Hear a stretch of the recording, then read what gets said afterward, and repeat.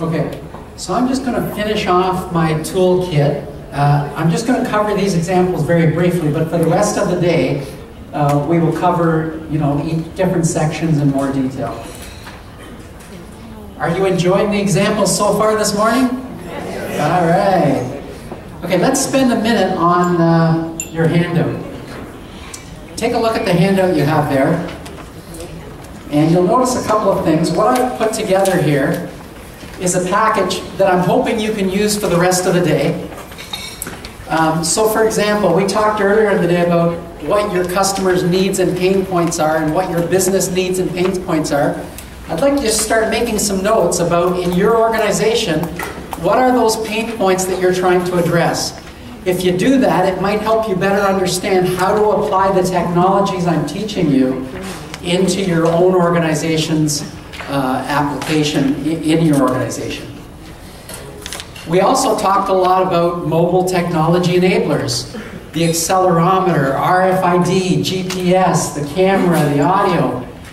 Can you apply any of those technologies to your organization, once again, to address business pain points? If so, I want you to start making some notes in here of what ideas you have of how you think you can apply it to your organization. So hopefully this will help you uh, take, take some notes about what ideas really uh, apply the best to your organization. The next page talks about uh, is it a services innovation? Is it a product innovation? Can you create an entirely new business model innovation the way HomePlus did in Korea to sell groceries in a subway. Okay, so you got to ask yourself those questions. Can you create a whole new business model for rental cars, whatever it is, how you can change the way business is being conducted today. So think about that. Then what I've done on the next four pages, or actually on the next one, page four, you notice the four sections I introduced you to, branding, closing the sale, commerce, and customer support.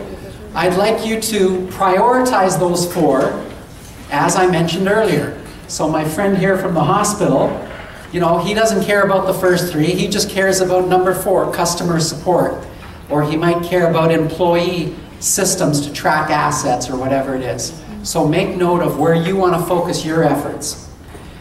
Then on the next four pages, starting from page five, is each of the top 10 lists that we're going to be covering for the day.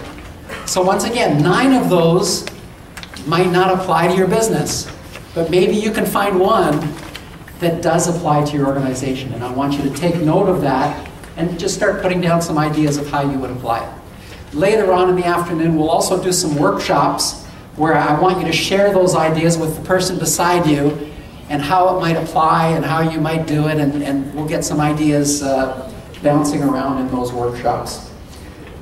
So then on the next four pages, excuse me, you can see each of the top, the top 10 lists, and hopefully that will help you decide how this applies to your organization. Then starting on page, well after that the pages aren't numbered, so starting on what's called Appendix A, uh, just some other background information that you might want to take a look at. For example, the next page is a market forces analysis. Is there things happening in the Panama market uh, with competition or with the demographics or, or of your economy or globalization? Is there certain things happening that may provide opportunities for your company or certain market forces that are what I call landmines could cause you a lot of problems in the future because the market is shifting and you have to see what direction the market is taking uh, in order to be successful. So there's a couple of pages on market forces you might want to think about. Then there's a page on doing a competitive, competitive analysis. Who are your main competitors and deciding whether they're taking some actions that you may want to be aware of and, and counter those actions. Then there's a SWOT analysis in case you wanted to do that. There's a target market analysis. And another interesting exercise uh, after that is creating strategic alliances. If you're going to get into this new market, does it make sense to create an alliance with another company? And then in the next section, I have something called creating a persona, which is creating a description of the typical customer you are trying to reach. And by creating a persona of that customer, it could help you decide how to address the needs of that customer. So that's another exercise in here that you might want to consider. And then on the very last page is just an action plan sheet. If you get any ideas from today that will lead to specific actions you should take, you can take notes of that on the last page. And that could be a marketing action. You know, a lot of people are asking me about building a mobile app and things like that. So take note of what you want to do on that app and who you should be talking to and, and things like that. So all of those things, of course, are optional, but if any of those are helpful, feel free to use this booklet throughout the day to help you organize uh, and plan what your next steps may be. Okay? All right.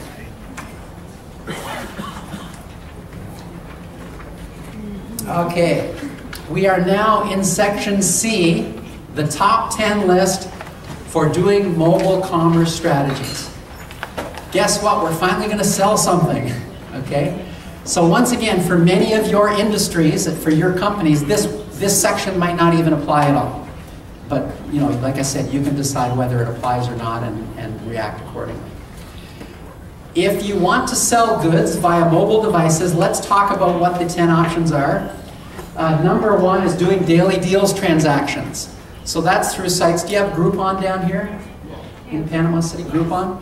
Do you have other ones? Does anyone know the names of some other ones here? Can you yell it out? Okay. One more? Okay. Okay, so there's a lot here where you can sell things, uh, buy things from daily deal sites, but if you're a company, you need to decide if you should sell your product through those organizations. Be very careful in this area because one uh, company in the UK uh, sold cupcakes. They said, oh, we're going to sell cupcakes. The problem is that for these daily deals to work, typically you have to give a big discount, like 60% off, 70% off, sometimes 90% off, because you want people to buy the product, to try it out, and then maybe they'll become your regular customer. You want to get new customers into your location. The problem with the cupcake company in the UK they thought, okay, we'll do a daily deal. We'll just lose a little bit of money on each one. Uh, but maybe we'll get a lot of customers coming to visit us every week. Well, guess what? I think the number was they sold 102,000 cupcakes. They, they lost $20,000 because they, they underpriced it. And Groupon or some of these other deal sites, they make 30 or 40% of the money goes to them. Mm. And so there's not as much left for you. So you, you got to be careful how you structure the deal and are there enough people trying out your service uh, and whether or not you can keep those customers. So take a close look at this, but it may or may not apply to your organization.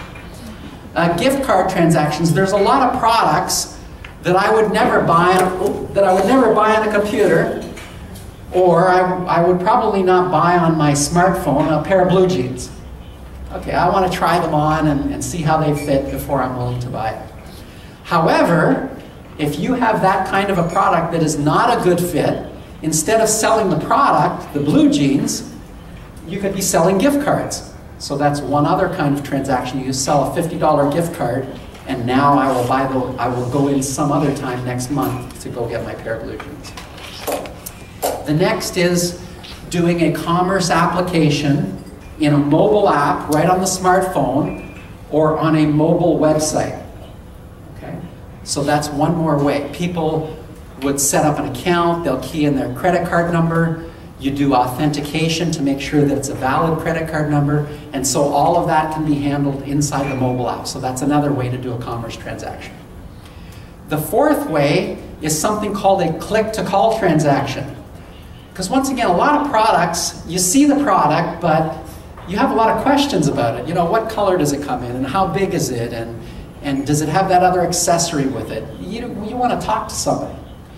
So there's a new method of commerce called click to call, where once I see the product, it shows the phone number, and simply by tapping the phone number, I can now talk to the call center or the, or the store and ask them my questions.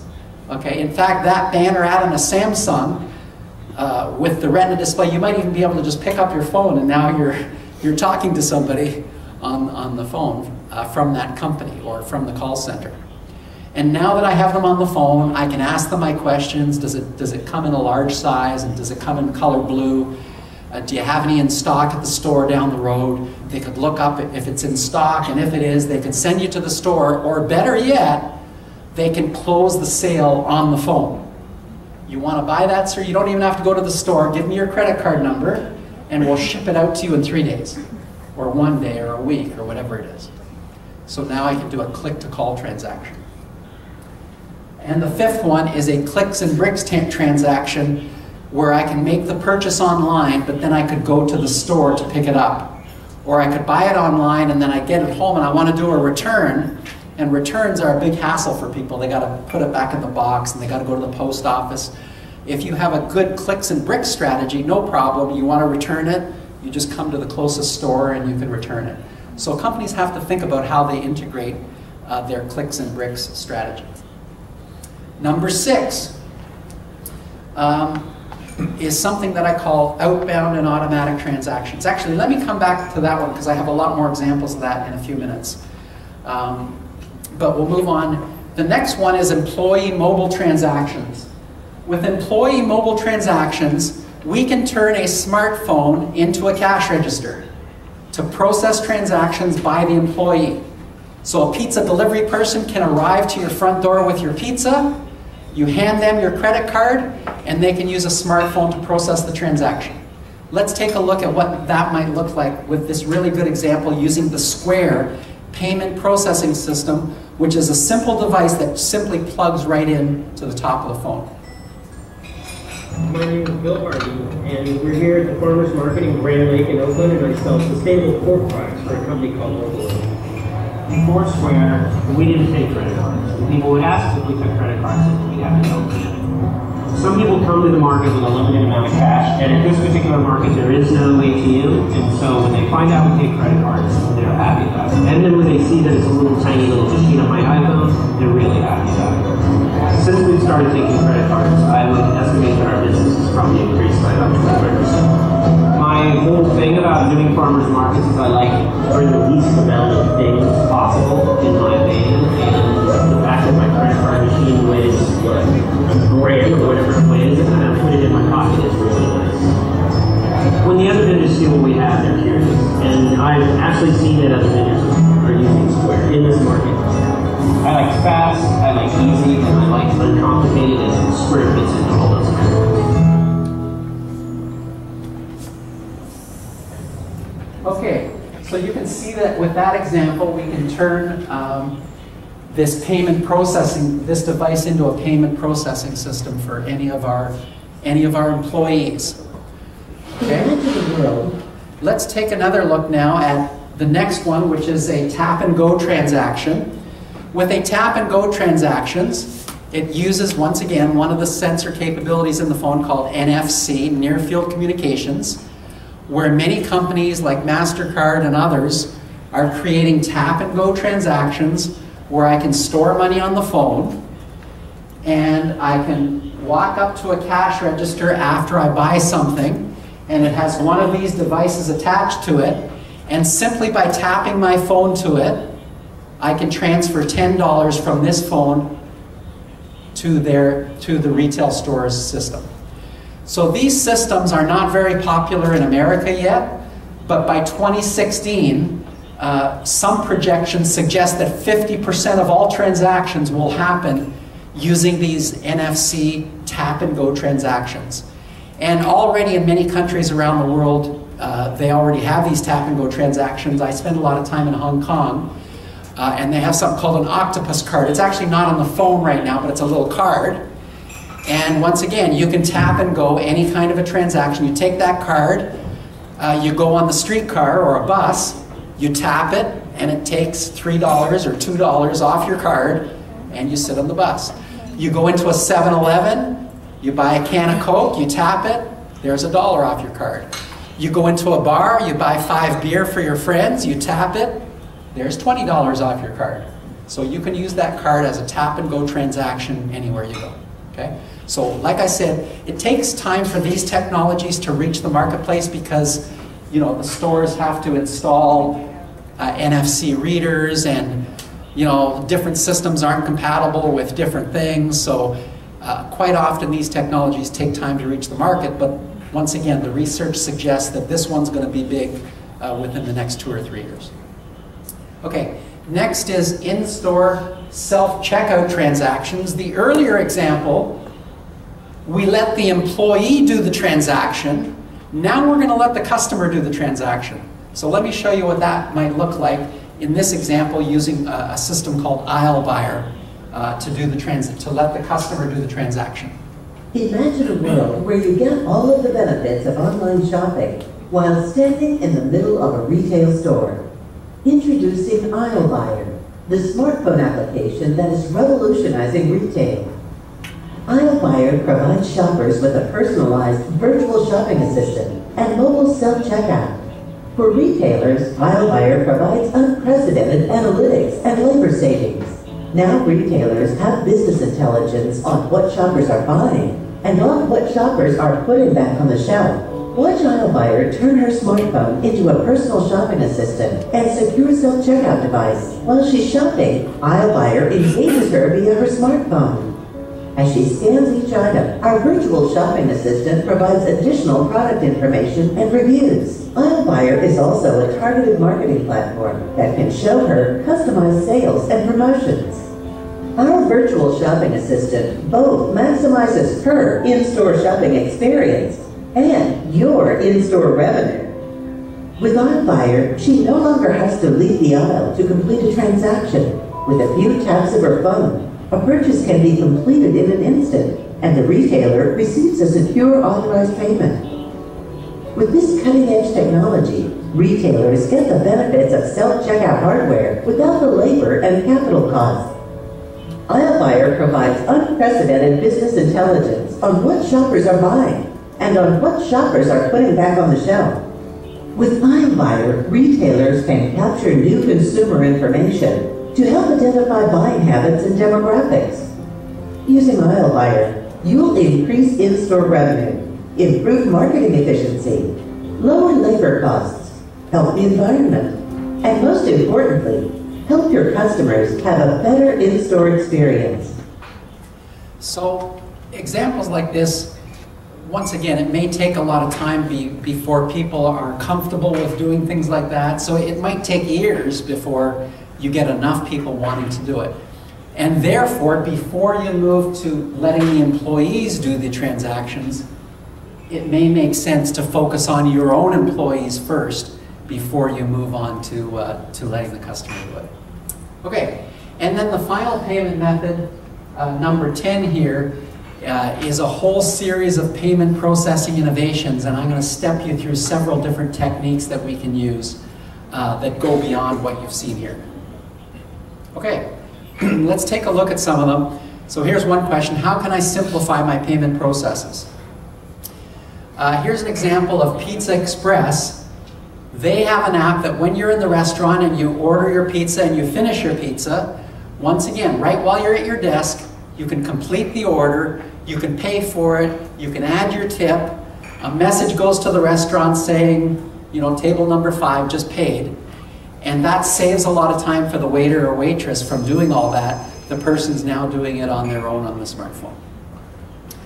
Uh, here's another example. Uh, Scott's Food and Pharmacy in the US has introduced biometrics, commerce transactions using your fingerprint. So the way this works is you set up an account, you say which credit or debit card you want to use, you say which loyalty card you have, and then whenever you do a transaction at Scott's Food and Pharmacy, you don't even have to have your wallet with you. You put the things in your shopping cart, you get to the cash register, you put your thumbprint down on a device, and it says, oh, that's Tom Vassos, and now we're going to charge his MasterCard, and then I can quickly leave the store. So using biometrics to instantly do transactions. What they're finding with these systems is once people set up the account to do that, the amount that they purchase from that store goes up because it's very convenient. It doesn't matter if you have your wallet on you, you stop by on your way home, you put the fingerprint, you pick up milk, bread, whatever it is you want, uh, and then you're off. So it's very quick, it's convenient for the people. Uh, and they were even finding, for example, not just the customers using it, but even a lot of their employees used it because they only had a 20 minute coffee break and they always had to wait in line to buy the coffee and their sandwich or whatever it is they wanted. Now they're using it quite a bit more, where they're using the fingerprint recognition and buying stuff at their coffee break, at lunchtime, at the end of the day, just before they go home. Uh, the other interesting thing they found with this particular one eh, that, that surprised them, do you think people like the elderly might use a system like this?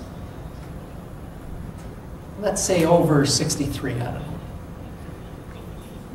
Okay, because they didn't think they would, but as they found out, that was a higher percentage was the elderly.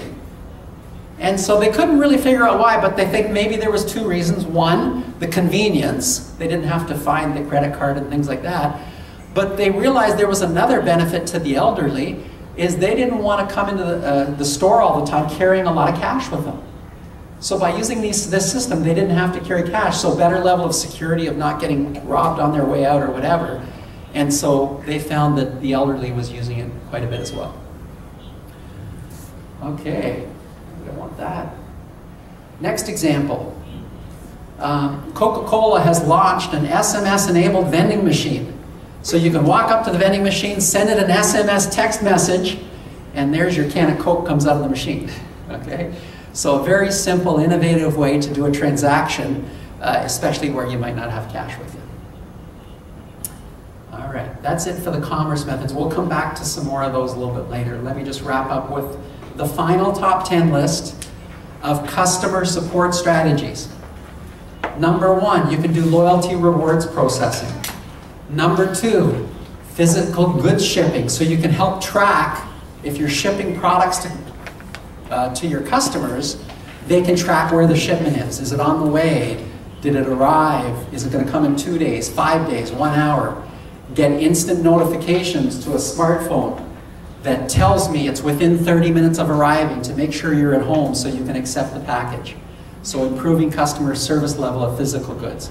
Number three, uh, shipping of digital goods. So I can ship you a book, an airline ticket, uh, you know, a ticket to a soccer game, whatever it is, I'm, I'm starting to now do it electronically. If you'll notice a lot of the daily deals sites, uh, those things are a real pain. I've used them quite a bit in the past, but you know, you get the daily deal, and then you got to print the coupon off on your printer, and then you got to make sure you call them to make a reservation. And it's a lot of hassle. And there's, I got a big pile of papers, and I, and I always miss the deadline on these darn daily deals. That you have to use it by the end of August, and well, wouldn't you know, I, I didn't get a chance to use it. Well, now, what the daily deals sites are doing is they're sending you the electronic coupon now to your smartphone, so you don't need to print it out at all and now potentially this becomes my ticket to pick up that item from the store. Uh, the example I gave earlier of IKEA, show me the installation instructions so I can figure out how to put this thing together. Another idea is technical support. Uh, Twitter does technical support via Twitter at a site called at Twelpforce. So they have thousands of people asking technical questions and thousands of people uh, uh, from this company that are going ahead and answering your questions via Twitter. Okay, so technical support via social media.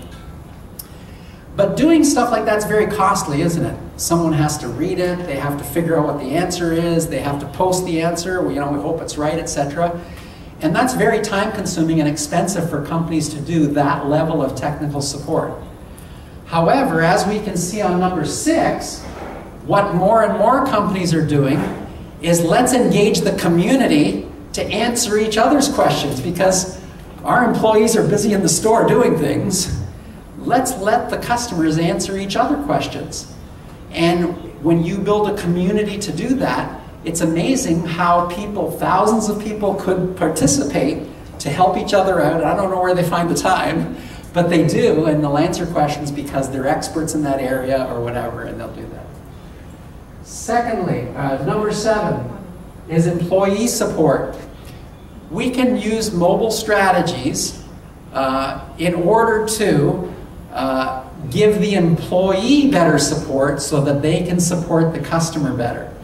Uh, this is actually an example here where we can use augmented reality when a mechanic is about to you know, change a fan belt on a BMW 5 Series or something when they open up the trunk, they get the new part that they have to install, could have a QR code on it, and when they scan that QR code, it could be a video instructions of how to install a fan belt. okay? Or for the customer to do it themselves, whatever. So once again, this is where we potentially provide employee support. Then we can do customer service, like I mentioned earlier, like the Air Canada alert example. Then we can provide warranty support, and then we can provide product recall support in case there's a problem with the product. Okay? So that is our four top 10 lists. Okay? So I wanted to do it kind of like in two steps. The first one, I introduced you to all of them. And now we're going to spend the rest of the day taking a look at certain ones in a little bit more detail, more examples, more things like that. Okay. Oh, and I thought I would wrap up with one kind of futuristic example. You've probably, I think, yeah, this one's from Google. Uh, wearable computers where you're going to be able to see uh, map directions to get to your next locations. Or you could see your Facebook page and what people are saying to you. Or you could see your Twitter feeds or something like that. So there's all kinds of uh, capabilities that might be built into these wearable computers, as they say. Uh, let me just show you a, a, a, t a funny TV co commercial that brings this to life a little bit. Uh, give me soybeans. Yeah, yeah, yeah, yeah, yeah, yeah. Uh, scroll up. Buy it, buy. Next page. Close it, close it. All right, beautiful. Sell, sell, sell. All right, highlight four. Scroll up. There's the screen. The voice-activated wearable computer.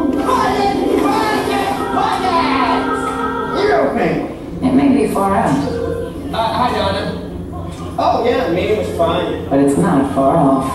I'll be on the afternoon flight.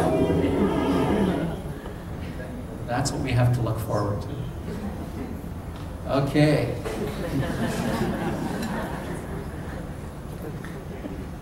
Any questions? By the way, did you notice the nail polish I have on that? I'm just saying. There's nothing wrong with that. Okay. Any questions, especially ones that you think maybe somebody else is thinking of the same question? Because if you don't, I'm going to bore you with another 50 examples. Anyone?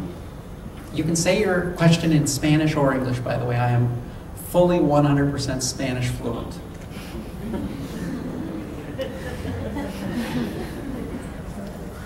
Los locos somos más. okay, no questions? Okay, let's go on. All right.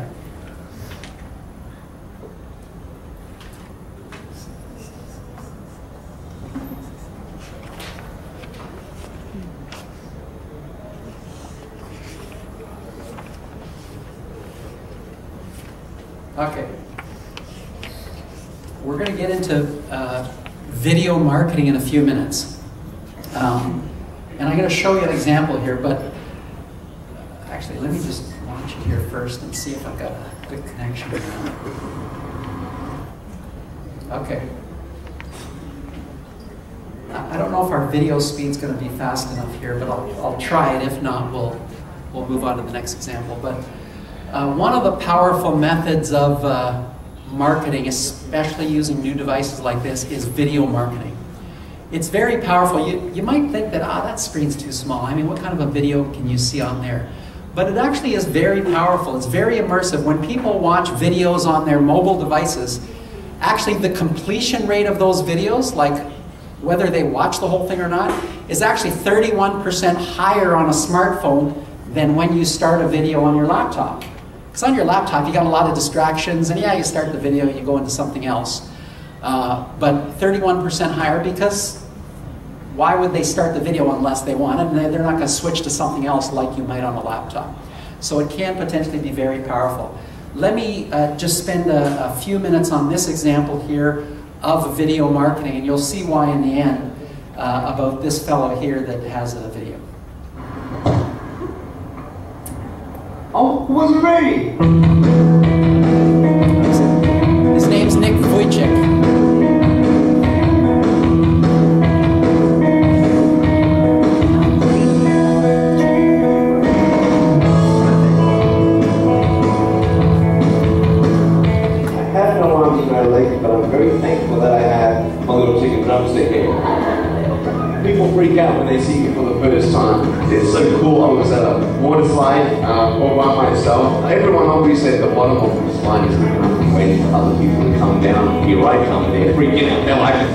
Like this. And I was so tempted to look at myself and go, what happened? You know?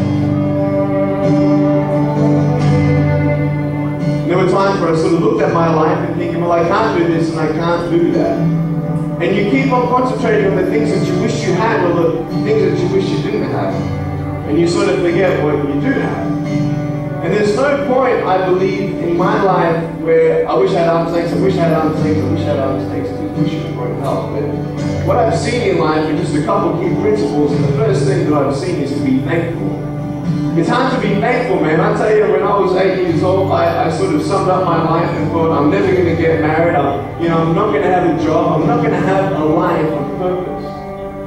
What kind of a husband am, am I going to be if I can't even hold my wife's hand? It's a lie to think that you're not good enough. It's a lie to think that you're not worth anything.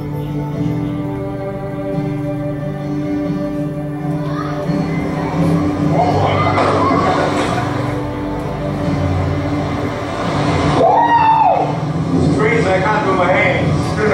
I love life. You know, so many people come and say, how come you smile so much? And I'm like, well, it's, it's, it's a long story. but it's very simple at the same time. You see, it's very hard to smile sometimes in life. There are things that happen that you don't know and you don't understand, and you don't know if you're going to get through it. You know, you go through your storms in life, and you don't know how long your storm's going to be. And today I want to share with you some principles that I've learned in my life that you can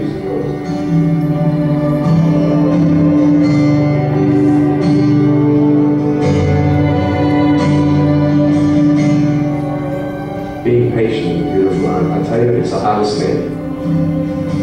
But I realize I may not have hands to hold my wife's hand. But when the time comes, I'll be able to hold her heart. I don't need hands to hold her heart. You know, it is scary to know how many girls have eating disorders. It is scary to know how many people are just angry at life because of their situation at home and angry at others. It's scary to know how many people actually feel like they're worth nothing. Every single girl right here, right now, I want you to know that you are beautiful. You are gorgeous just the way you are. And your boys, you're the man. On this DVD, I share my experiences in life of how I've overcome challenges and seen a new, fresh perspective in life. To be thankful, to dream big, and to never give up. And Nick's dream came true. He just got married this year. There you go. Okay, so let's let's take a look at some other examples. And let's see if I can find the right one here. There we go.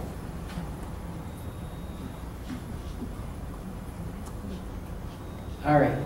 So before we go on, I thought it would be good to get a bit of a show of hands because I want to see if I can use some more industry examples of who we have in the room. So I'd just like to raise your hand when I call out your industry. I want to see who we have. Uh, first of all, raise your hand if anybody, if you're in financial services, banking, insurance, brokerage, anything like that. Okay, you can see each other, who you are. There's well, seven or eight, nine of you, okay, banking, etc. How about the telecommunications companies? Okay, four or five. Oh, we got about 10 or 12 there. Great. Uh, raise your hand. Healthcare, hospitals, doctors, all that kind of stuff. Okay, so a couple folks here. Uh, media, TV, radio, newspaper. Whoa, the media's here today. Look at that. I better give you some more media examples. Okay, 30 or so people. Uh, education, anyone from the university? Anyone? Nobody? We didn't invite the university? What happened? Francisco, invite the university next time. Okay. Uh, retail industry. Okay, so a dozen of you there. Um, I, I, probably have more examples from the retail industry than any industry, so A, I hope that will benefit you. But I think because we're all familiar with retail, because all of us shop, uh, hopefully those retail examples will help all of us understand better uh, how these apply. Uh, what about manufacturing? Anybody on the manufacturing side? Okay, four or five there. Uh, government? Okay, one or two there. You're not from the tax department, are you? No. Just checking. Uh, how about services in general? Services? Okay, there's a big category, maybe 20 there. Okay, uh, which ones did I miss? Sorry?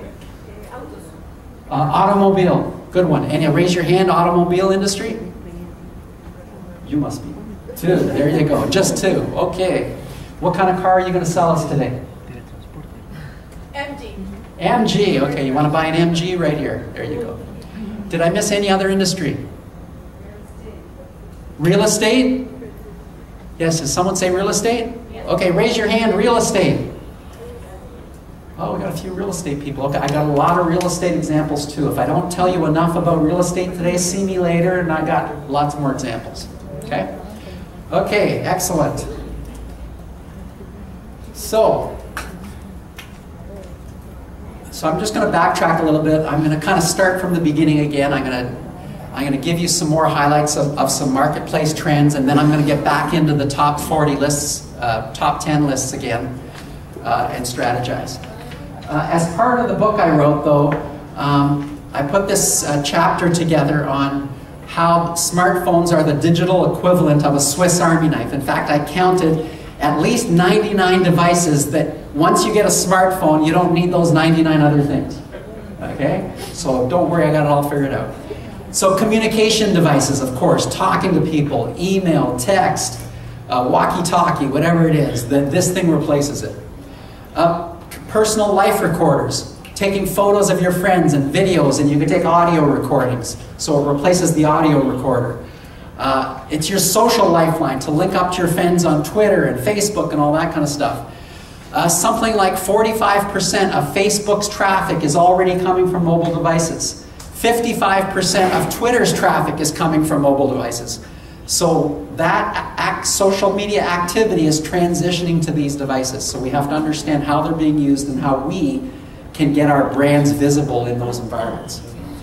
Uh, reading materials, so replacing your books. And if this screen's not big enough for you to read the book, but it actually is, it's, it's fantastic, you get a tablet instead or an e-reader, uh, which, which could be even better for you.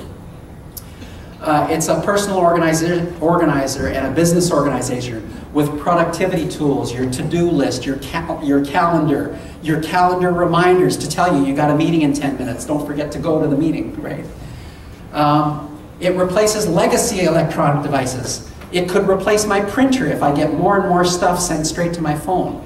It could replace my scanner. Why do I need a scanner when I can just take the photo of the sheet of paper and that's my scan of the product. I don't need that scanner anymore. So it's replacing those. Potentially fax machine because I could send a fax straight from this, fax that document to somebody else. Um, it can even replace a bunch of tools in your toolbox. Okay, get this, there's actually several apps on here to replace your real tools. There's one that has a measuring tape. If I just need to measure the size of this table, there's an app for that, okay? Uh, there's a level. If I'm hanging the picture, I can use my phone to make sure the picture's level. And if it isn't, it shows that little bubble as you're looking at it, okay? So, I don't think they have a screwdriver yet. yeah, some. Oh, uh, yeah, I'll, I'll, come back to that other one in a minute. Uh, the items in your purse. Anyone know what this replaces in your purse? No, it's not your lipstick. Sorry? It could replace, yeah, all, your entire wallet, your credit cards, your debit cards, your coupons, your, your ID it could it replace as well. What, what else? I'm thinking of something in a lady's purse. The mirror, the famous mirror app. You don't need the mirror anymore. There's a mirror app. You hold it up to your face, the camera, and now you can see your face and just a sec here. All right. It's your personal shopping guide, and I'll show you the percentage of people that are now going into your retail stores scanning the barcode on that television set they want to buy, and seeing that your competitor down the road is selling it for $20 less. Okay? So there's a lot more pain points in retail called showrooming, where people come into your store, they waste half an hour of your sales rep's time and they ask you a thousand questions, and then they scan the barcode and see it's $20 less on Amazon or down the road in the online or offline worlds. They say, Thank you very much, and now I'm going to go down the street and buy it from somebody else. And I am not going to waste half an hour of their time. So this is very scary for retailers because it's providing much more perfect pricing information that we never had before. If you are going to buy a $150 television set, raise your hand if you go to 10, into 10 stores or more to compare prices. Okay, a couple people. How about five or more? How about three or more? Raise your hand if you would only go into one store and buy it. Okay, so a lot of people, because why? You could go to 10 stores, you'll get 20 bucks off. Who has time? Let those other people do it, right? Okay? So we didn't have that perfect pricing information, but now with these devices we do, and, that's, and that could be scary for retailers. Your personal travel, travel and entertainment guide. So being in a different city and using augmented reality to see what that building is and that building is, or meeting someone in a restaurant or walking into a restaurant, sitting down uh, and having a new Google app that you can point at the French menu and it'll translate it into Spanish for you. Okay? So personal traveler guide. Uh, personal teacher, access to all kinds of information instantly when you need it at the moment you need it. The other night, I was home from the grocery store and I bought a coconut. I was so excited. Do you think I could open up that coconut? Has anyone been successful opening up a coconut? Raise your hand if you have. Nobody, I knew it. Those coconuts are still in your fridge, aren't they? right? But you can simply, on YouTube, how do you open up a coconut? And there it is right there. Oh, you have to do that? It's not even hard. You just have to crack it right on the right on the line that goes this way. You just tap it like that, and the thing pops open. It's like magic, and it's all on the smartphone. or maybe I could crack it with the smartphone. okay, and then finally, it's going to replace your wife or husband. Uh-huh. What? You don't believe me? All right. Okay, maybe it won't replace your wife, wife or husband, but do you know when you always say to your wife or husband, Where's my keys, honey? Don't worry, there's a find your key app so that you know where it is. Honey, where's my cell phone? I can't find it. Can you call my cell phone? Because I need to hear it ring, right? No, you don't do that. We, we have a find your car uh, uh, uh, on Android. It's where's my droid. From another phone, I can key in the message, where's my droid? And a map comes back and says, oh, it's at the Home Depot that you were at an hour ago. you left it at the cash register. So I can find my, my phone. Uh, I can find my car. You know, you, sometimes you get in a parking lot and you can't find your car. No problem. Remotely, I can use an app that starts sounding my horn, and then I can find my car in the parking lot. So I don't need my wife anymore. All right, and a thousand other things. Okay let me just share a few more stats with you, just I think you'll find interesting. Uh, this recent research in the US is showing that over the past two or three years, how much time we spend in different environments on the web. And consumers are now spending more time on mobile apps than the web for the first time. So that's how much they're starting to get ingrained in our daily activities. Uh, secondly, uh, this piece of research in Canada looked very specifically at 18 to 34 year olds and that they're spending the equivalent of one month a year on social networking. okay? This group is, this is their daily lives. I mean, the average teen sends like 3,700 text messages a month or something. It's crazy. 86% uh, of them own a mobile phone, 43% of a smartphone, which is 79% higher than adults. My daughter had a smartphone a year before I got my first one. Okay, because she was 14 at the time and she needed it. okay. Um, mobile devices in terms of internet access compared to desktop users. Uh, by 2013, internet access for mobile devices will surpass uh, desktop computer users. Uh, what about smartphones versus feature phones? This is the statistics for smartphone sales and for feature phone sales in North America. Uh, by the end of 2011, uh, smartphone sales had surpassed feature phones, and, and that will continue to happen as the smartphone prices come down further and further. Okay? Okay, let's get back to our toolkit. As I mentioned, now we're on past two of each of the areas, and let's just come up with some more examples. As we're going through this section, uh, you have to ask a question. So as I'm going through an example and you want to ask a question, just wave your hand and ask, and I'll, I'll cover that topic in more detail. Otherwise, I'll probably go through the examples fairly quickly. Okay, so first question, how can I increase traffic to my stores? This may be one business objective that many retailers have where they want to drive traffic to their stores. Um, so Subway restaurants, like an example I used earlier, uh, is now using something called geo-targeted opt-in SMS text messages. What does that mean? That means around each of their stores, they create something called a geofence. It's a geographic fence that goes around each store. It's like a virtual fence. And let's say it's something like, it's let's say 500 feet within the store. If you opt into this service, anyone that comes within 500 feet of the store, they get a text message. Hey, you're close to a subway. you want one, don't you? okay.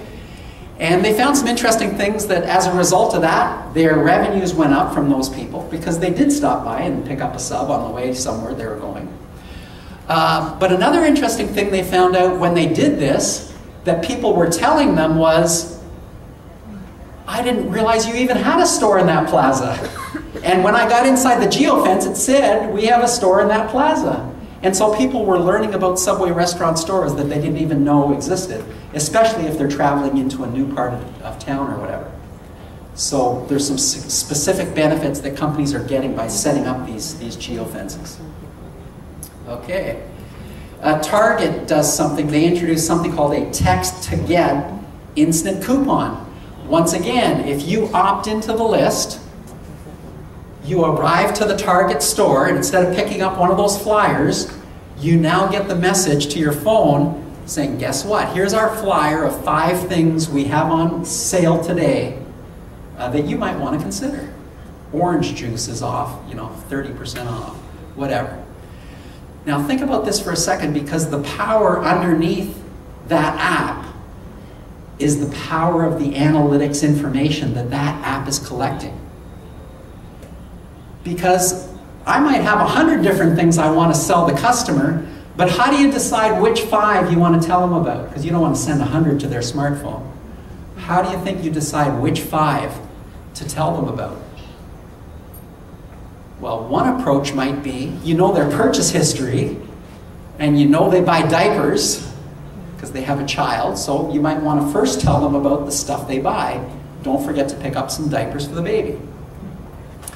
The second thing you might want to do, though, because you have the power of analytics, is use the power of analytics to suggest other purchases. Maybe purchases that that, that customer doesn't normally buy. So that customer mostly just buys clothes from you, but you know they've never bought stuff out of your grocery section let's give them a really deep discount on some bananas because we want them to start getting used to buying groceries, not just clothes at our store. I'll, it's amazing the power of these analytics, and I'll, I'll, I'll share a story with you that I think you'll find interesting was Target does an amazing job of powerful analytics to predict future purchases. And it's interesting because they they can actually use this technology of analytics to predict if you are pregnant or not. tell you truthfully.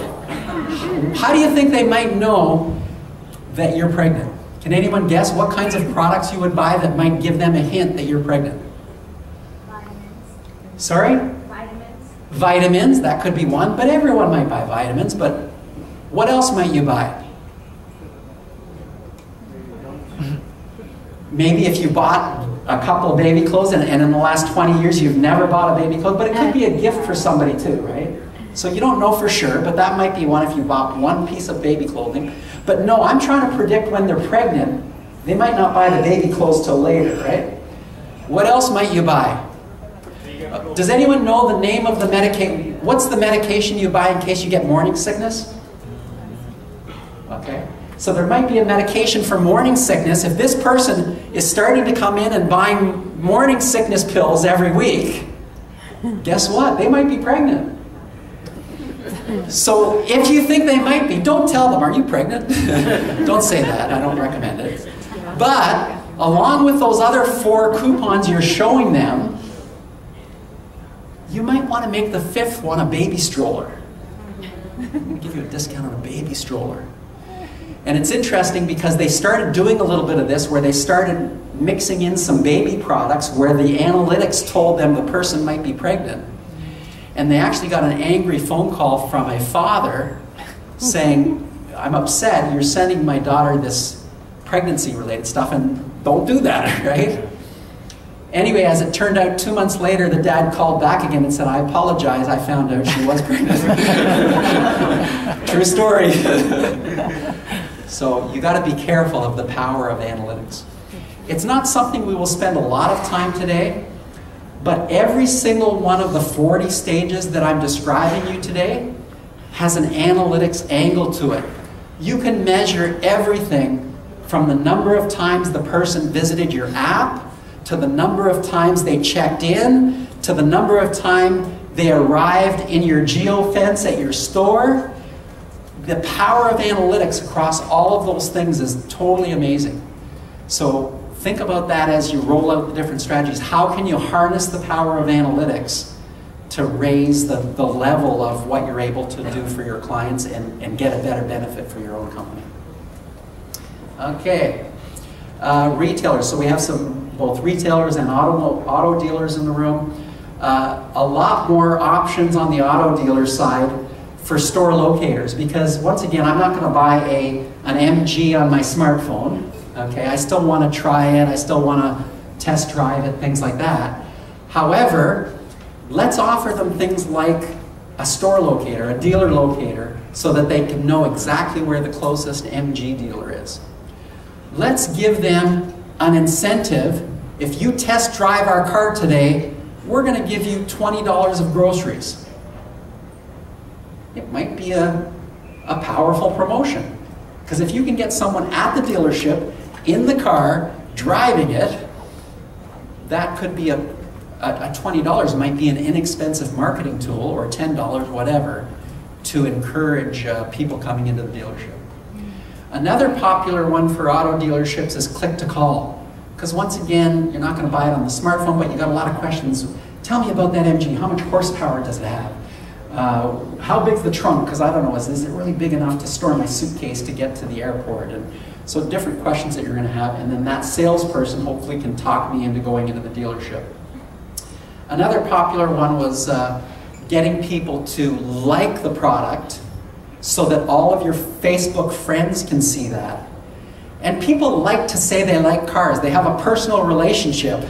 Oh, I like the BMW, right? or I like the Corvette, or whatever. So people like to associate themselves with certain automobiles.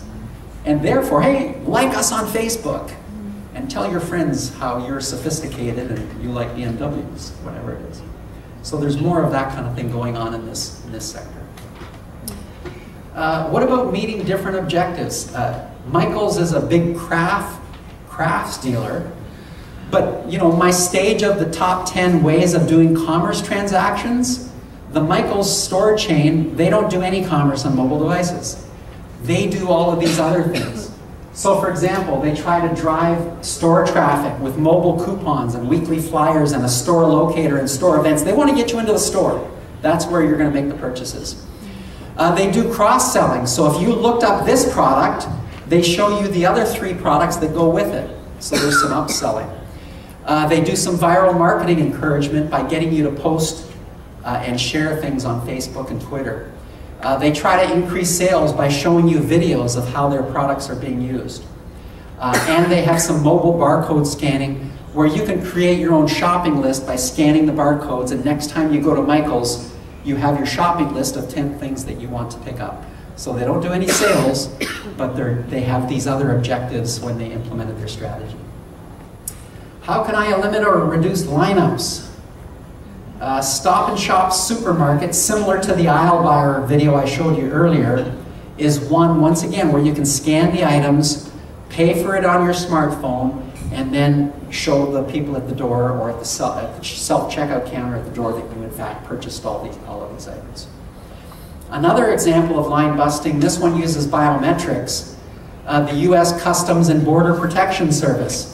Uh, so I, I was part of this service a few years back when I did a lot of traveling where you set up an account, you show them your passport, they do a credit check on you, they do a, a background check, have you've been in jail or whatever, and once they're comfortable that you're, a, you're a, an upstanding Canadian citizen in my case, that now when there's that long 45 minute lineup to get through the airport, I could walk up to the kiosk, just like the pilots do, put my hand on there, it recognizes that it's Tom Vassos, and then I can skip the 45 minute lineup and, and go further along down to get my plane.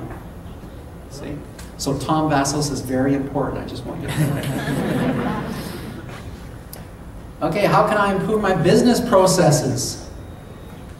So once again, uh, we're trying to eliminate the printers. So there's different solutions out there that will send you a ticket or a purchase confirmation or something to your smartphone. This becomes your, your piece of paper that shows you had that.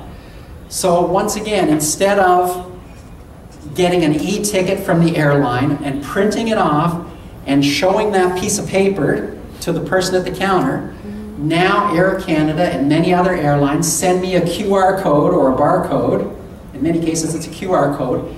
It appears on my smartphone, and when I get to the airport, I simply scan that there, and then they say, "Okay, go through," because we see that's your that's your boarding pass basically. So your board, your entire boarding pass becomes electronic. What about going to a soccer game? Once again, they can send you the soccer ticket it appears as a QR code or a barcode. You get to the soccer stadium, and once again, the lineup's quicker because everyone just scans their smartphones and gets into the stadium. Okay? Marea Roja. Right. Okay, so that's probably enough of me talking. I'm going to do a little bit of a workshop uh, with everybody here. And so let me just uh, put this up and, and think. I want each of you to think about how you're going to apply this to your organizations. Okay.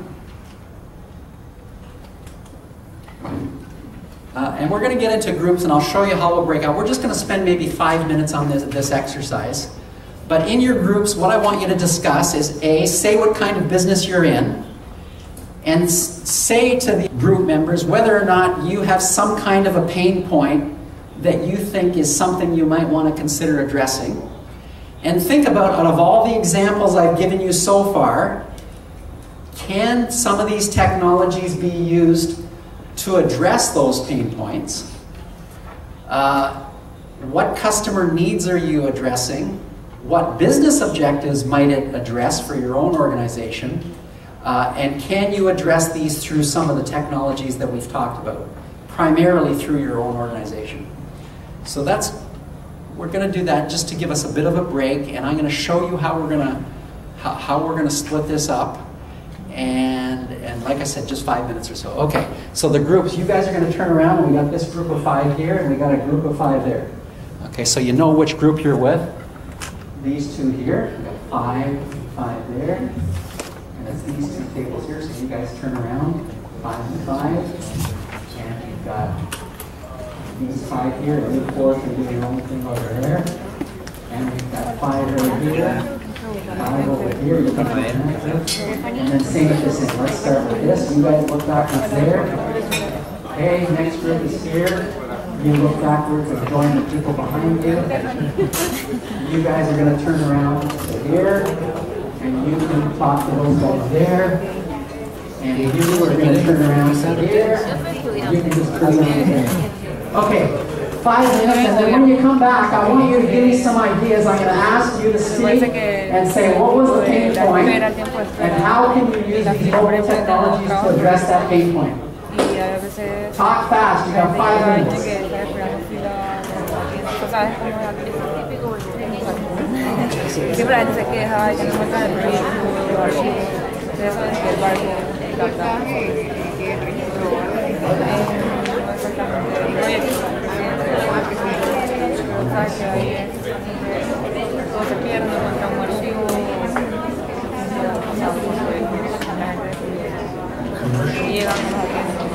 Oh, e-commerce, yes.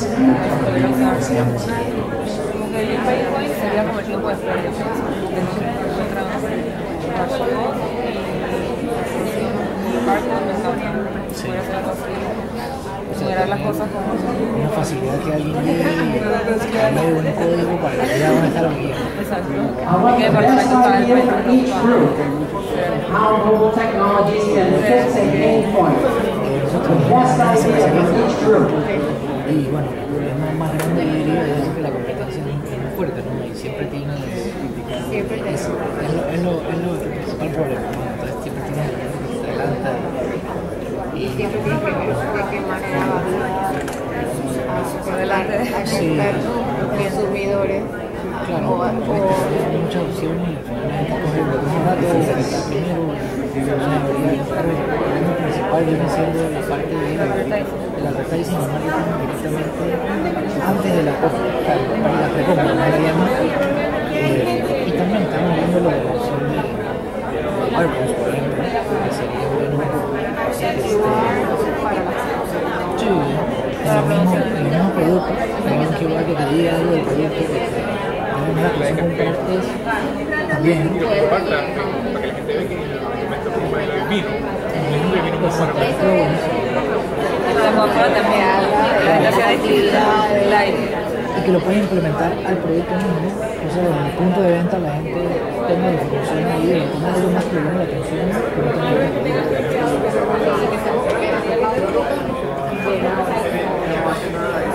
Una propaganda cuando ve la También. Puedes ponerla así de repente campaña. campaña. La motivación. Sí, ¿verdad? Entonces básicamente los posts, lo que está que aquí no se ve. Es que eso es lo que pasa, ¿no? Tú también trate de ir a un juego. Tienes que bajarlo, pues. Hay que bajar un mapa. Para la web, ¿no?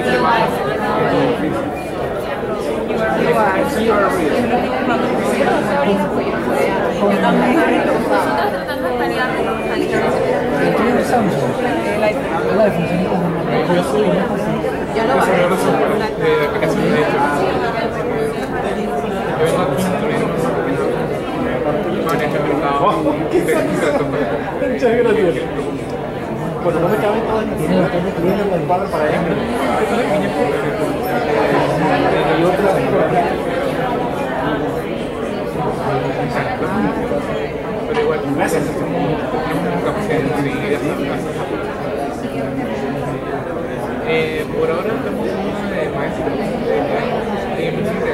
Tengo que hacer un iPad y, y dos vasos, hacer una presentación, hacer una Creo que en ese mundo más o menos hay toda la construcción de de smartphones. Digamos que la gente que tenga un smartphone, que los términos que somos, sabemos que hay más celulares que personas, pero celulares los smartphones, o BlackBerry y no Y no Android o, iPhone.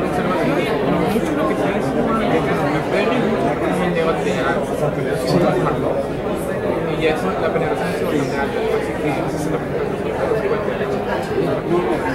contando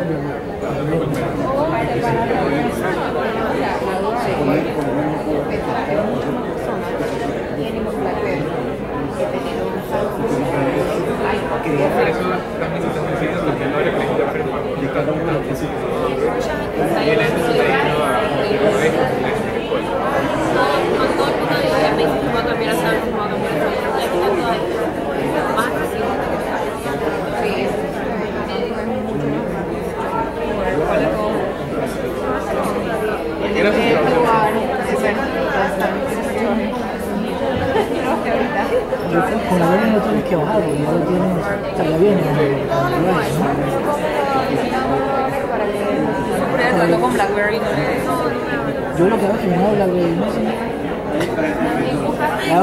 Hago como si fuera a agregar un contacto. Invitar mediante escaneo de un código de barra. ¿Y si te sale? Sí, sale. O sea, si hubiera uno por aquí, es que digo, yo nunca lo hago. A ver si funciona. ¿Serán de verdad? No sé si son de verdad. Upstool de repente tiene un Ford Reader así. Ah, ahí va. Sí, son de Upstool. Ya lo, ya lo escaneé. Sí existe, están en BlackBerry y Apple. ¿Y si sale?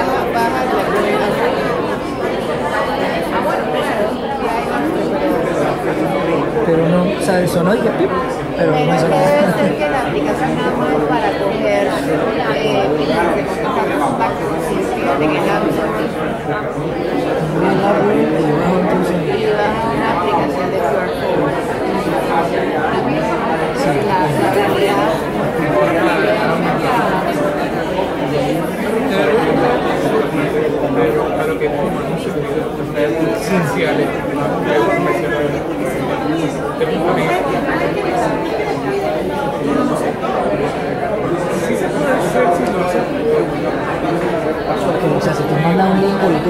Sí, porque en realidad es como un link eh, para que el teléfono sea activado.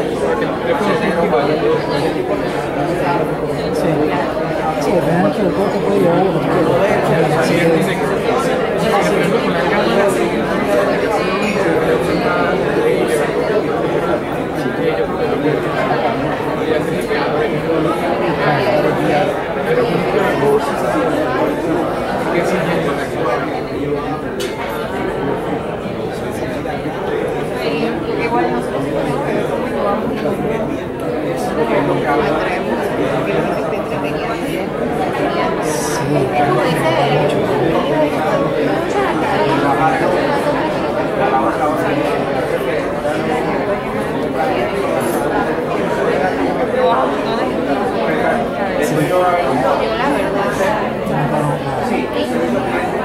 Mejor, te gasta la batería. Exacto.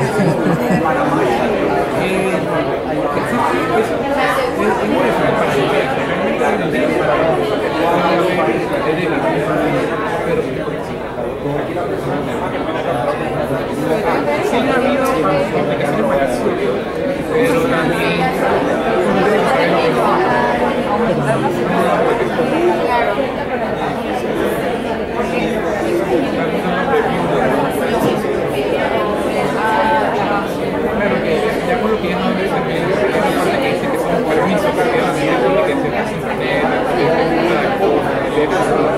y uno ve que uno tiene determinados permisos como que no abran de la tele. Uno como el cerebro tiene que comunicar. Pero también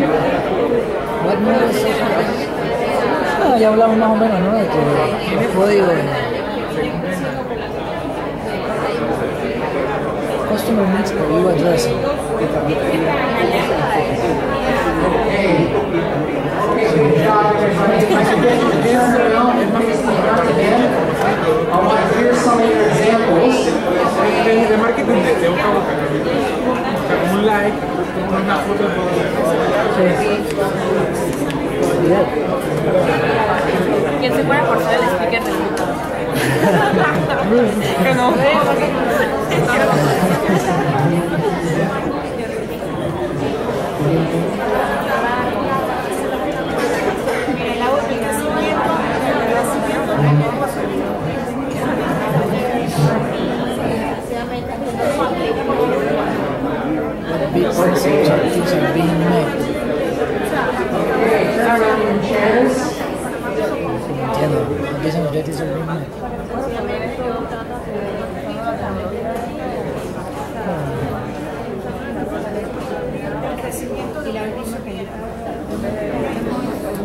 Okay, I'd like to hear some of your examples.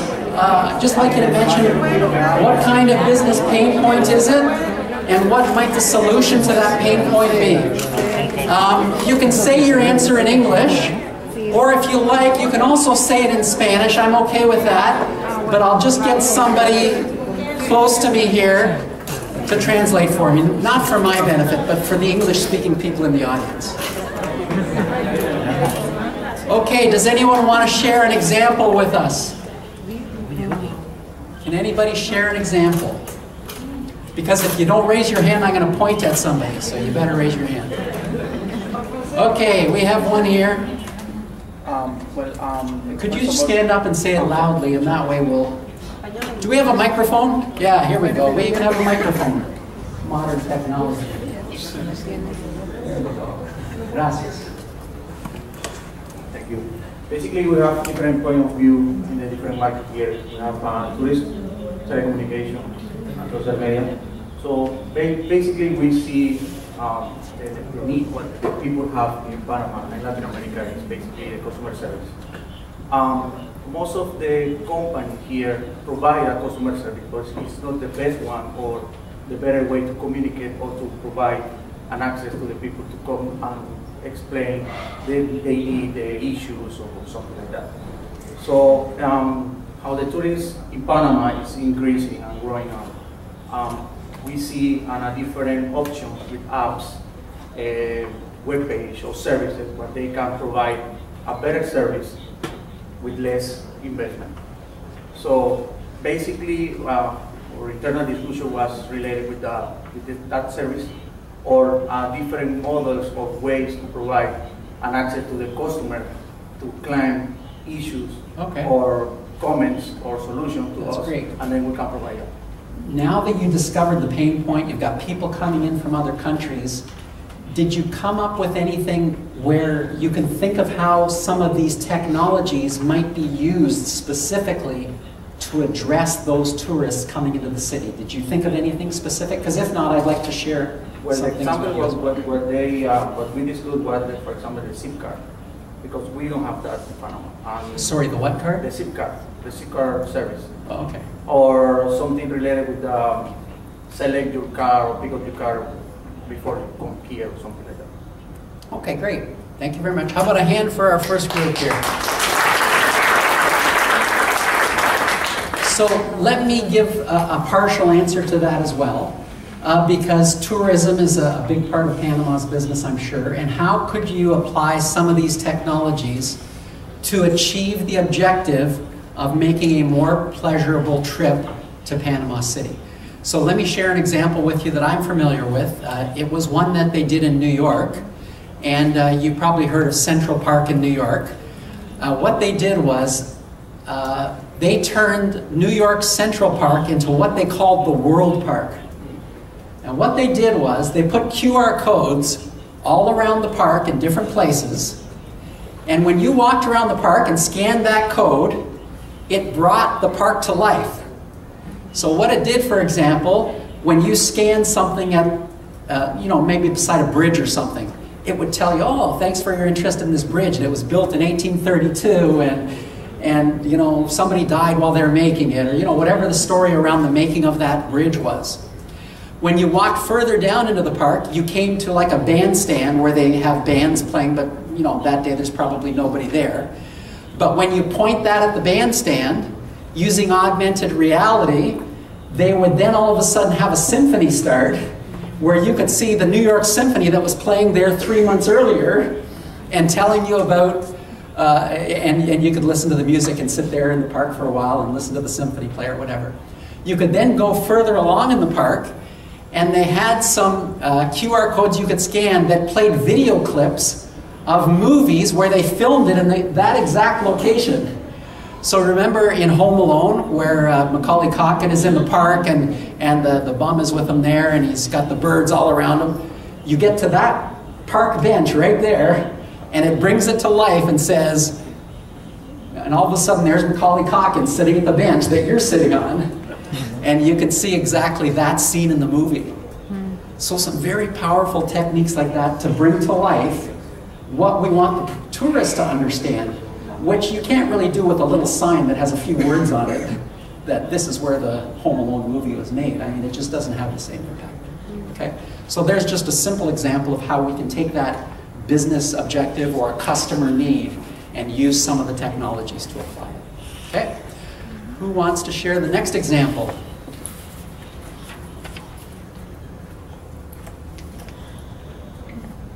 You have one there? Okay. Can we have the microphone passed down? Oh, there's. Do you want to go next or? Okay, here we go.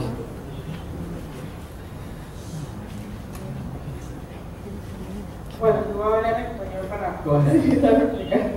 Eh, la verdad aquí estamos, estamos hablando de ejemplo que hay varias personas de una empresa que sí que ellos tienen un tema que desean mejorar, que son las reservas internacionales. Pues eh, dentro de la mesa se estuvo discutiendo además de cómo solucionarlo, realmente varias cosas que se están distintas industrias eh, representadas en la mesa aquí presente. Entonces voy a mencionar dos cosas. Una es que básicamente se estaría utilizando eh, similar a lo del hotel, las reservas, eh, como se hace en el que se apoyen por lo, lo que son la, la información geo- georreferenciada o el para pues, cuando ya la persona llegue y pues, ay- ayudarlo a orientarse, ¿no? hasta llegar al local donde, o al lugar donde se encuentra el vehículo y además asociarse con, con hoteles y otras cosas eh, del medio que- o servicios del medio que podría necesitar turistas. Pero además estuvimos analizando, y también los compañeros, que ten- que tenemos que en Panamá realmente todavía no se han estado utilizando lo que son los, eh, los servicios mediante Android y dispositivo en Panamá todavía es verde. Entonces, eh, para mí un reto enorme para poder crecer lo que son el uso de los, celulares. Pero ya hay varias industrias que están eh, utilizando, entonces pues, el reto para Panamá es que cada una de las industrias que, industrias que están aquí presentes, pues que hacemos para que en algún momento dado lo que son las tele- telefonía móvil, pues puedan ser utilizadas para los negocios.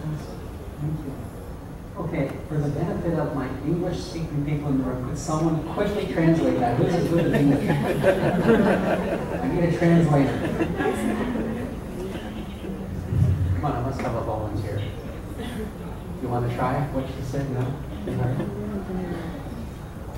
Could I get a translation device? That, that would help you, wouldn't it? Because I only understand, understood eighty percent of what she. Yo entendí el español. Yo tampoco. Okay? Okay, what was the main point of her message? Anybody? Come on, somebody here? She said uh, Thrifty is having problems with their International international reservations, right? Reservas internacionales, ¿no? international reservations for people that come, uh, for tourists that come to Panama. And when do they come, when they come here, what is the difficulty? Did she say whether it's when they get here, they have to line up at the rental counter and things like that, or did she mention what the pain point was? Uh, you ask her, ask her. El problema recae cuando la gente llega aquí a hacer la fila para su reserva y,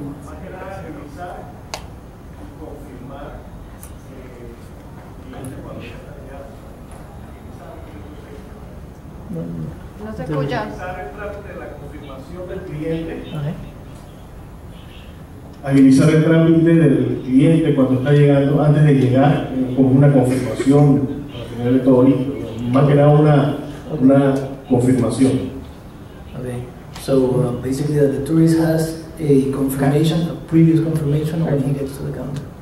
Very good. También hay otro problema, que es que muchas de las plataformas igual no pueden funcionar debido a que en Panamá sigue utilizándose los, apara- los aparatos más sencillos o los smartphones tipo BlackBerry.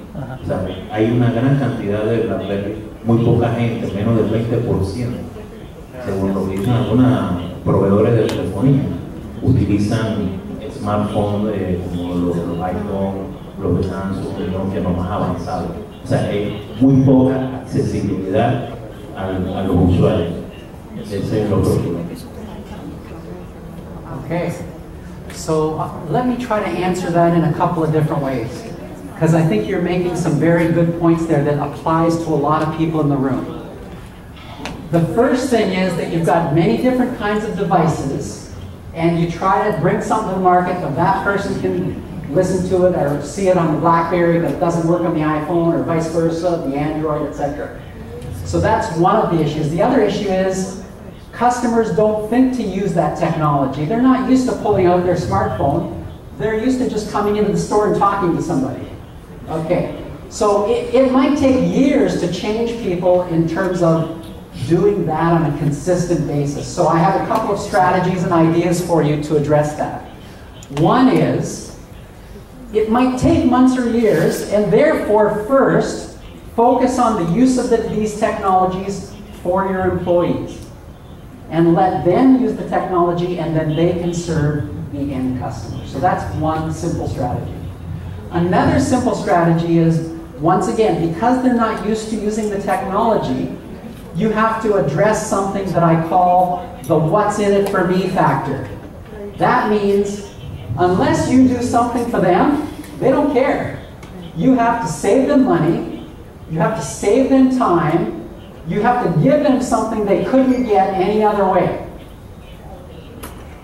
And then you have to tell them about it. So the first few times to try to do that, when you're in your store or at the rental counter at Thrifty, you might literally have to have a speech that says, by the way, you just waited in line 30 minutes to get your car. You probably didn't know we have a smartphone app and you could have skipped the lineup. Here's a piece of paper that shows you where you can download it. And next time you come to Panama City, use the app and you don't have to wait in line. Guess what? 95% of the people won't know you had that app. And so now all of a sudden you're making the awareness of that app visible to the customers out in the marketplace. Okay? So there's a lot of steps you might have to manually take to convince people to use it, but if you give them the what's in it for me factor, and skipping the lineup is a good one, then they will use it the next time they come. But you have to tell people about it. The people on your rental counter have to tell people about it. When people call your call center and reserve the car or whatever it is, at the end of the call from the call center, they should be saying, and by the way, did you know we have an app for that? Okay? So then you're starting to raise awareness of telling people. You can put it on posters. You can put it on signage. You can put it on your cars. I mean, wherever it is to get the visibility for it. The second technical issue that you were talking about was the multiple disparate, different platforms that are out there. So there's a couple of solutions for that because the problems in the past we've had with mobile devices is you build it for the iPhone and only the iPhone can use it. BlackBerry can't use it, Android can't use it, right?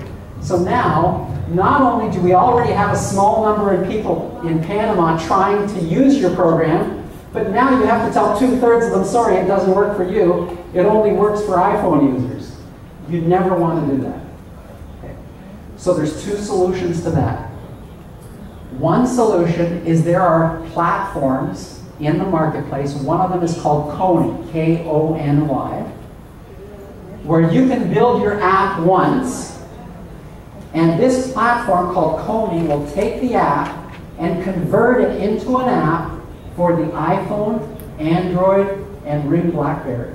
Now you can reach everybody. Okay? So you have just eliminated the problem of not reaching two-thirds of the population. Now you can reach everybody. So that is one solution, a cross-platform development tool like Kony, where you can build it once and everybody can use it. The second solution from a technology standpoint is raise your hand if you've heard of something called HTML5. Anybody? HTML5. Not, not too many people. Okay, we don't have technical people in the room. That's okay. Are you the developer? Yes. There you go. Ask him all the HTML5 questions later. Is that okay? Uh, and you'll write the app for them too, right? Yes. See? We got an app developer. He'll, by lunchtime, you'll have your app written. Okay? Very easy. HTML5 is the new standard coding mechanism that is used on mobile browsers. Very powerful. So you have two choices when you bring function to the market. You can build it in a cross-platform environment like Kony and run it as an app. That means people have to download your app, open up your app, and use your app. Option B is you don't write an app at all. You build a mobile website using HTML5, and instead of going to an app, people go to the browser on their smartphone. Once they go to the browser, they can go to your website, m.thrifty.com, which is a bit of a branding trick here if you let an M dot on the front of your domain name. That tells people it's your mobile site. So you create a mobile site called m.thrifty.com, and now people can just go to the browser. It doesn't matter whether they have Android, iPhone, or RIM BlackBerry, and HTML5 will feed them a beautiful page regardless of which three platforms that you're on. There's advantages and disadvantages to diff the different solutions, HTML5 on the browser or an app, a custom app for each environment. Talk to your local developer and he'll help you decide what's the best approach for your, for your needs. Do I get 20% for that? 25. See, he's negotiating at least.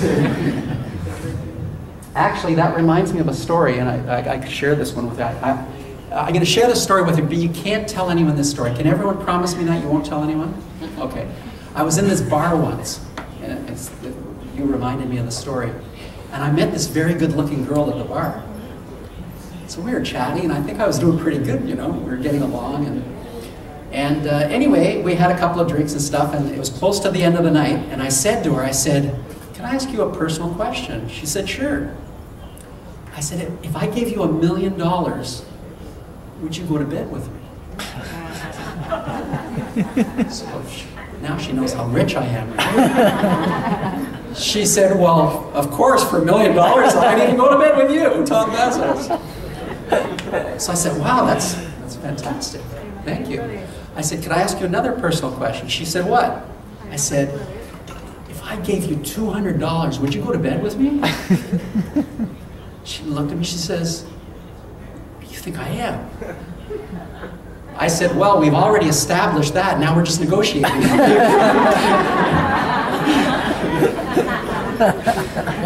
you won't tell that story to anyone. All right. Who wants to give us our third example? Did I give you a good answer on that? Okay, okay. If I didn't, see me at coffee break. Okay. Who wants to give us our number three example? Wow, it's 1234. We're doing good. Okay, we've got somebody in the back. Can we get a microphone there, please?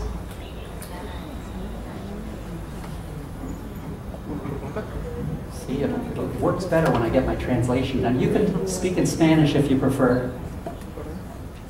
Eh, buenos días,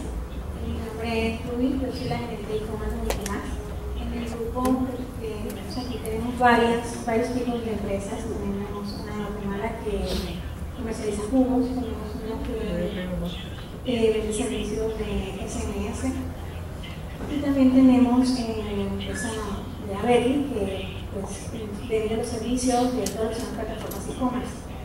Hablando nosotros en grupo, estaban comentándonos una de nuestros compañeros de que ellos tienen problemas o no saben de pronto cómo hacer para poder hacer crecer sus fans, poder hacer llegar un montón de información y eso a los clientes, o cómo hacer llegar, de, pronto capturar clientes por medio de redes sociales y ese tipo de cosas.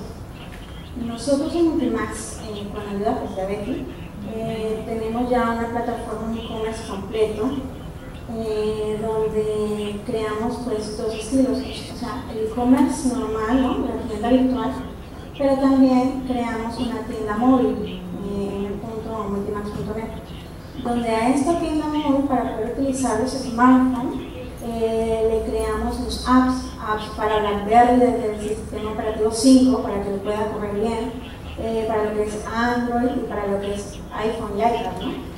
Entonces, nosotros lo que hicimos fue que por medio de las redes sociales hemos estado tratando, primero que todo, empezamos a darle vida a los, al Facebook y al Twitter que ya existían, que durante varios años habían 2.000, 3.000 fans y en cosa de 6 meses logramos subirlos a 17.000 fans. Esto fue dándole pues, vida a la página, dando información al cliente, no solamente volviendo un catálogo en la página de Facebook Twitter, sino dándoles información, no solamente multimedia, sino información tecnológica, porque a las personas les gusta estar a la vanguardia de las cosas. Y también hicimos de que el mismo Facebook tuviera una tienda, una tienda dentro del Facebook, o sea que sin salir de tus redes sociales puedas comprar. Y bueno, en el momento que vas a pagar, si ya te saca, ¿no? Entonces, estoy seguro de cuál fue la transacción. Todo esto, ah, todo esto se hizo o estamos, estamos en un proceso de educar pues, al, pues, al latinoamericano, que no estamos acostumbrados realmente a trabajar con e-commerce o con redes sociales, o no estamos seguros de pronto de comprar por internet. Entonces, por medio de videos que hacemos caseros nosotros, le explicamos al cliente eh, cómo puede comprar o le explicamos alguna promoción o algún producto que tengamos. Entonces, lo estamos hablando en consenso era que la forma más fácil, eh, no fácil, sino más rentable, por decirlo así, es volver a los fans que tenemos en nuestras páginas de redes sociales, eh, fans orgánicos, ¿no? Cosa que sean realmente clientes potenciales en un momento dado y poder monitorear con lo que son los analíticos, ya sean de Google o de las plataformas de e-commerce o del mismo Facebook, para poder manejar los targets y así las promociones. El tema, con, el tema, el tema de pronto que maneja Multimax en, en, en- en un problemita tal vez, algo que estamos manejando es ver cómo hacemos para que la gente se sienta más segura o que se abogue un poquito más a lo que es comprar por internet.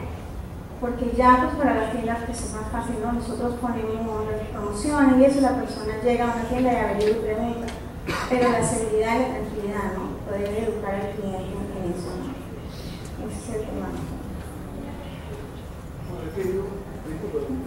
Use the microphone for us here. Gracias.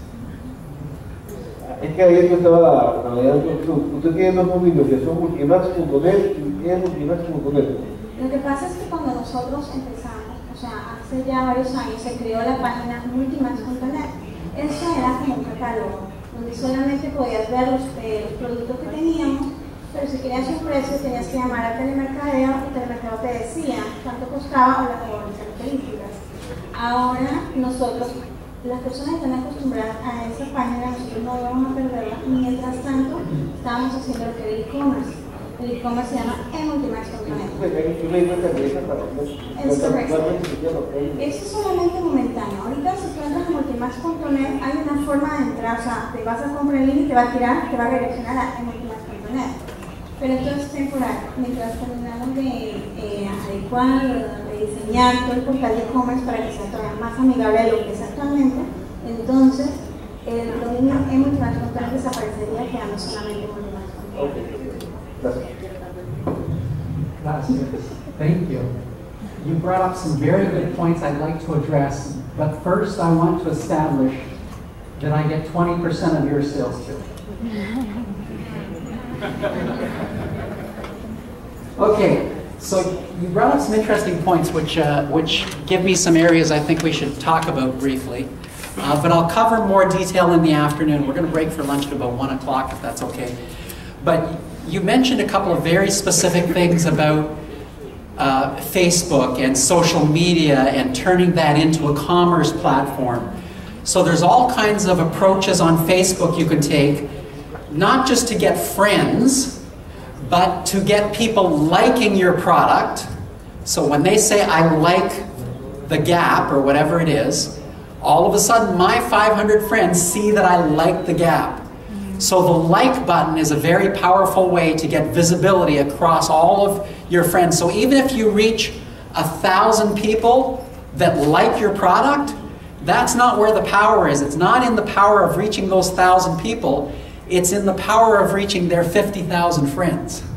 So that's the part that's very powerful. So the like button is one. Another one is creating fan pages where people become a fan of your product.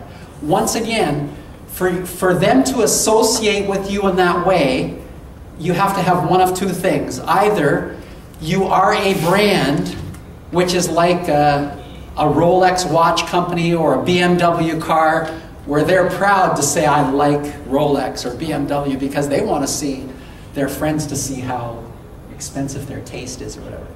But the other way is that sometimes you have to pay them off. That if you like us on Facebook, we're going to give you $3 off on your next purchase. Right?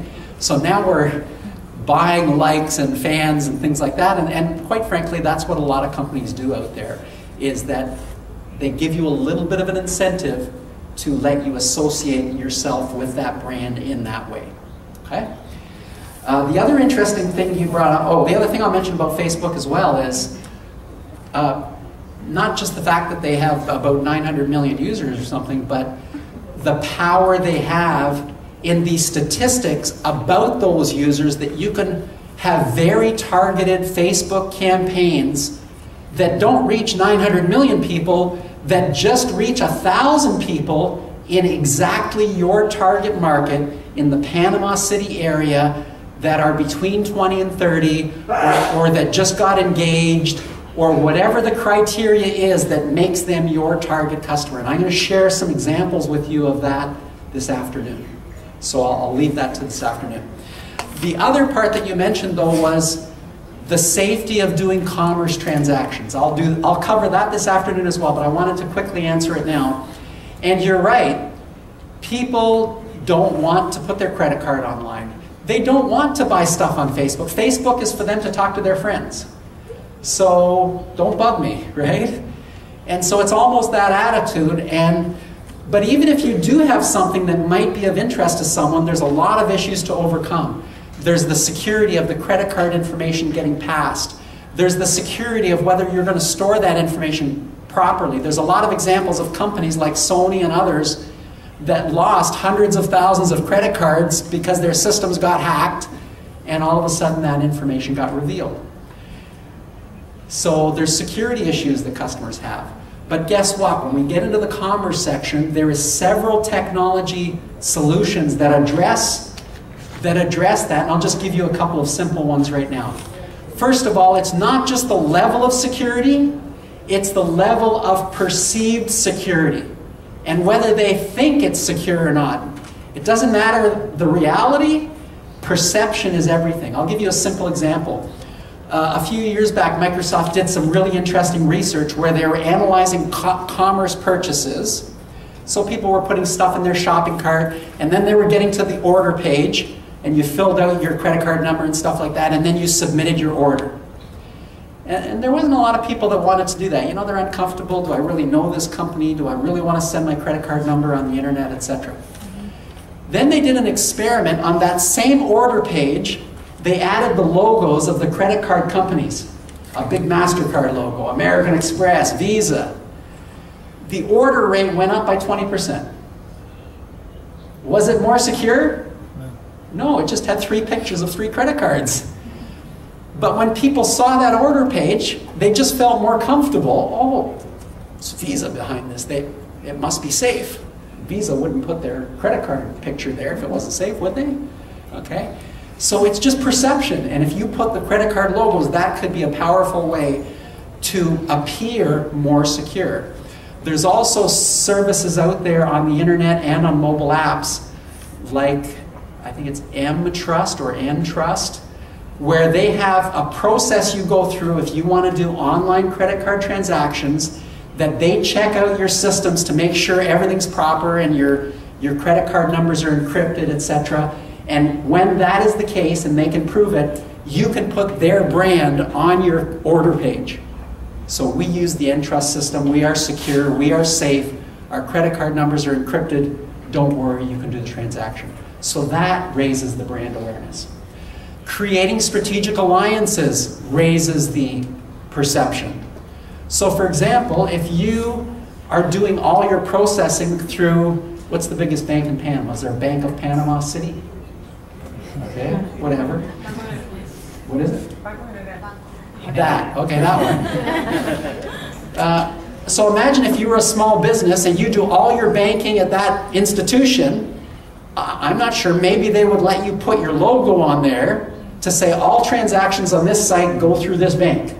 And once again, the people in Panama City, they, they don't know your company as much as they know that bank.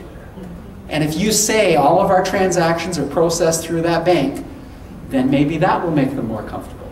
So there's just different techniques to raise the trust level of getting people to do those uh, transactions. Finally, no matter what you do, some people will never do it.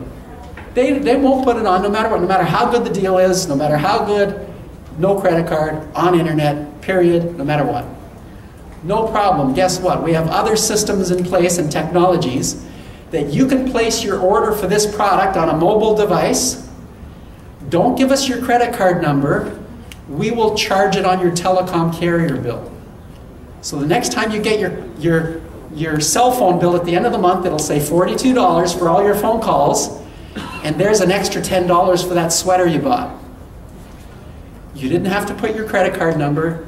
It got charged to your telecom bill, and you feel comfortable doing that. So there's different techniques, and when we get into the commerce section, I'll share with you some of those techniques. Okay, we have time for one last example. Does anyone want to volunteer?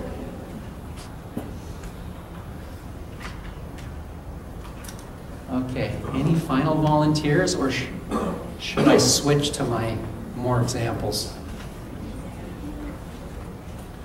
Going once? Going twice? Oh, we had someone just under the wire. Okay. Who has the microphone? No, yo lo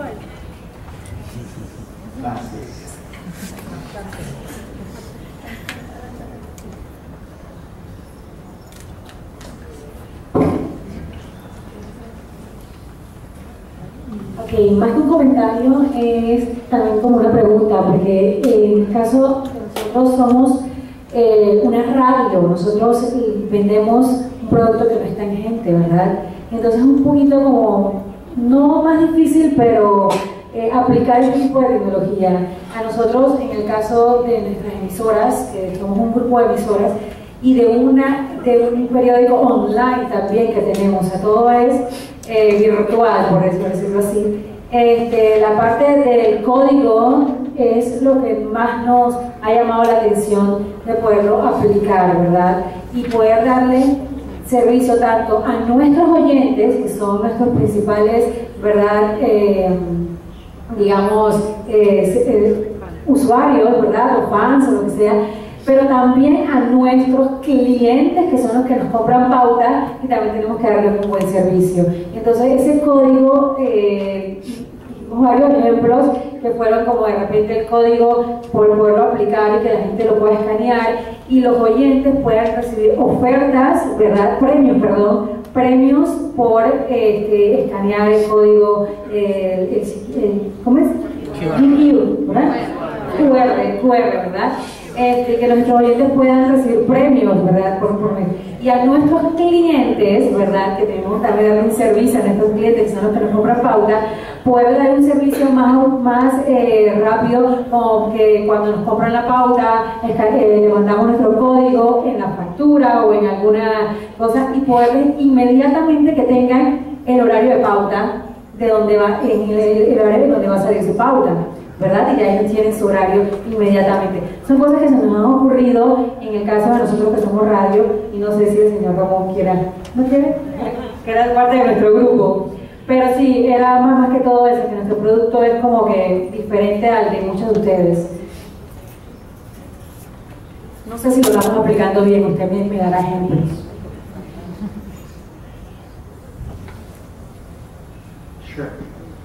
So a couple of things come to my mind with yours. I mean, there's a lot of opportunities for the marriage between radio and especially social media. I'll, I'll make a mobile phone comment there, but on the social media side, there's an opportunity to have a community for everything you do on the radio to build a community on a Facebook page or followers via Twitter or whatever.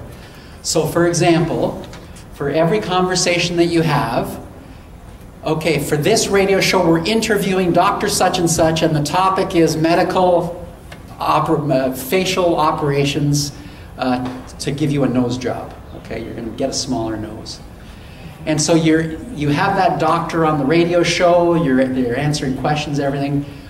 We can create an entire community on the social media side so that everyone can have a two-way interaction because a regular radio show it's just you talking to everybody. You can't hear anybody. You're just talking to them. It's one way. But by introducing the social media element now it becomes a two-way conversation. And all of a sudden people on that facebook page which is associated with that particular radio broadcast can ask questions and how much does it cost and how dangerous it really is it to get a nose job and and is it really safe? And is there risks involved? And not only that but as they're asking those questions you could be providing the questions to the interviewer. Oh we have a twitter question. Oh we have a facebook question. And now all of a sudden it becomes a live two-way interaction with the audience rather than a one-way broadcast. So there's many things like that that could open up and change what our interactions with the world might look like as a direct result of what the technology can do for us. I mean, we can go even further though, for, but for example, a radio show could build an entire mobile app so that instead of, once again, having to listen to it on your radio, you can listen to the radio shows anytime simply by loading the app, no matter where you are, as long as you have internet access, and live, real time. I can now access it this way in places I didn't have access before. So that's basically what we're trying to open up is reaching people in new places because right now your target audience, I don't know what it is, but let's say it might be 60% people in their cars while they're listening to the radio and the other 40% while they're in their home. But what about when they're in the park? Or what about when they're in the office? Or what about when they're somewhere else? now we potentially open up the capability to communicate with them uh, in those other environments. I'll give you a simple example that is not in the radio industry, but in another industry. A company, uh, that uh, coffee shop, that replaced their cash registers with cell, with cell phones. So when you came in, you bought your coffee, you signed on the smartphone, and they processed the transaction. And that was great, but then they realized one thing hey, we can, we can process all our transactions on our smartphone. That means we could introduce a whole new business model because we don't just have to sell coffee in the coffee shop. We could go to the park every Saturday afternoon and, and sell coffee, if it's legal, that is. And by the way, you want a coffee, just sign here. It's all wireless connected, and there's your coffee for $1.50. And it introduced a whole new business model for them uh, to do transactions in a different environment than they were before. Or they could go to a stadium or a school where they were having an event at the school or whatever it is, that we can now turn our business into a mobile commerce business based on the possibilities that these technologies open up. Okay? So I, I, probably didn't answer your question fully, but hopefully we, we had some, some ideas there. And there was one more example we wanted to have right here somewhere. There we go. It's almost lunchtime, fast. Buenos días, eh, Servicio Hospitalario, en este caso Hospital Nacional. Eh, para nosotros definitivamente estamos convencidos en la mañana de hoy que a través pues, de este sistema podemos convertirnos en un aliado para todos ustedes. Número uno, sentimos pues que a través de, de, esta herramienta podemos hacerle llegar a cada uno de ustedes pues nuestro directorio de médicos, en donde ustedes, por ejemplo, en un momento dado vayan a utilizar un gastro, un cardiólogo, alguna referencia. Sabemos que la información que nosotros como hospital podemos manejar en un momento dado va a ser muy sensitiva para todos ustedes. Es información que, dicho sea de paso, Tal vez en el momento no sentimos que la vamos a utilizar, pero sí sabemos que es importante que la carguemos en el celular. Así que consideramos que es oportuna una herramienta que le permita que a todos ustedes dentro del celular puedan tener eh, este tipo de información. Número uno, el tema médicos. Número dos, el poder crearles eh, como especie de una plataforma donde el paciente, que son dos temas sensitivos al momento de un hospital, el ingreso y la salida del paciente en el caso del ingreso, bueno, si nosotros creamos una plataforma en donde ustedes nos brindan su información, va a ser un proceso que nos va a agilizar la entrada del paciente. Número uno, vamos a poder hacerle preguntas como a qué son alérgicos, en caso de emergencia, a quién llamamos, porque puede ser que en un momento dado voluntariamente ustedes van al hospital de una forma programada, pero en otra ocasión puede que lleguen sin que nadie lo sepa. ¿cierto? Entonces, este formulario, esta plataforma nos va a permitir a nosotros, como quien dice, conocerlos antes de que ustedes puedan utilizar los servicios nuestros. Así que es, una, es una oportunidad muy buena de poder utilizar una herramienta como esta. Ahora bien, eso para los, que, los clientes que ya existen dentro del hospital y que utilizan con frecuencia. Los que no, igualmente, igual nos llenarán el formulario porque no saben en cualquier momento nos pueden utilizar. ¿Cierto? El momento de la salida del paciente por ejemplo, nos pareció muy oportuno que dentro de las habitaciones con una aplicación ustedes puedan pagar en línea. ¿Por qué? Porque le permite al paciente evitar esa situación de tener que eh, dirigirse a caja, en un momento dado eh, no manejan efectivo, el tema de la tarjeta, ¿cierto? Entonces, ofrecerle al paciente la oportunidad que a través de Internet, dentro de la misma institución que ya existe, poder ustedes pagar en línea. Entonces, a partir de la fecha, cuando ustedes reciban el de la aplicación, el código Hospital Nacional, los invito para que nos agreguen y entonces puedan recibir toda esta información. ¿Cierto? Gracias. Buen día. Just a quick clarification. Can I ask you a question?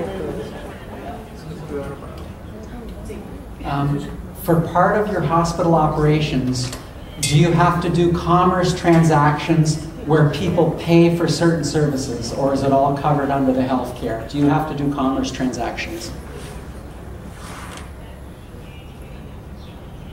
Correcto. Hay dos tipos de pacientes. El paciente particular, que es el que puede, el paga, obviamente, que no tiene ninguna cobertura de aseguradora, y el paciente que tiene la cobertura de su aseguradora, pero siempre debe pagar un copago. O sea, siempre debe pagar algo, aunque sea un porcentaje muy pequeño, excepto de que tenga una full cobertura por alguna situación X en donde no tenga que pagar absolutamente nada. Entonces, estamos hablando de dos pacientes. El particular, que obviamente paga de su monedero, y el paciente con aseguradora, que de todas maneras igual tiene que pagar un porcentaje de la cuenta, ¿cierto? Eh, igualmente, pues sí sentimos que la aplicación nos permitiría en esta plataforma para que cuando usted, señor Vaso, regrese a Panamá, usted en cualquier emergencia...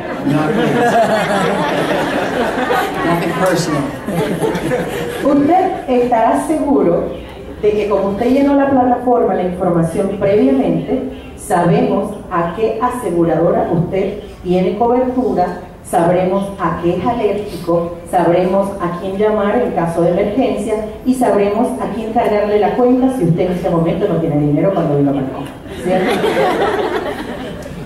I've made a decision. I'm not going to visit you, I'm going to visit Thrifty Rent-A-Cars. Thank you. Uh, great points. I, I, think I have some great examples for you. First of all, this afternoon I have some specific examples that I think you'll like in the healthcare industry. Being able to book a doctor's appointment, finding a particular specialist, seeing what their calendar availability is. So there's a whole range of things like that that could be built into an app to save the hundreds of phone calls you get When's the doctor available? What's the appointment? Phone calls going back and forth, like it's all very time consuming versus some type of automated process to provide that information. Uh, secondly, I can't remember if I have the video or not. I think if I do, I'll show it to you later. Um, once again, using some of the technologies I, I mentioned earlier today, like RFID technologies, I'll show you a video in Canada where we have an experiment set up where not only do our elderly citizens have health cards, but they could have an RFID chip built into that health card.